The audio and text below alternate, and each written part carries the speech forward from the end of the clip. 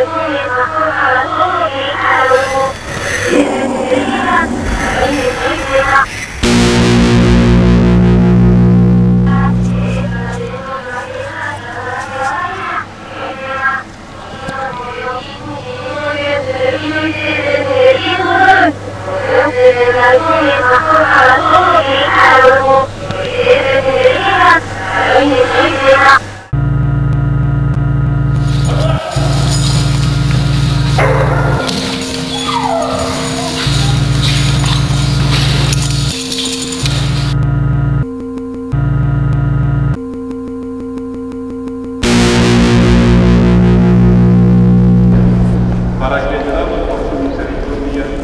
vivamos siempre libres de pecado y protegidos de toda perturbación,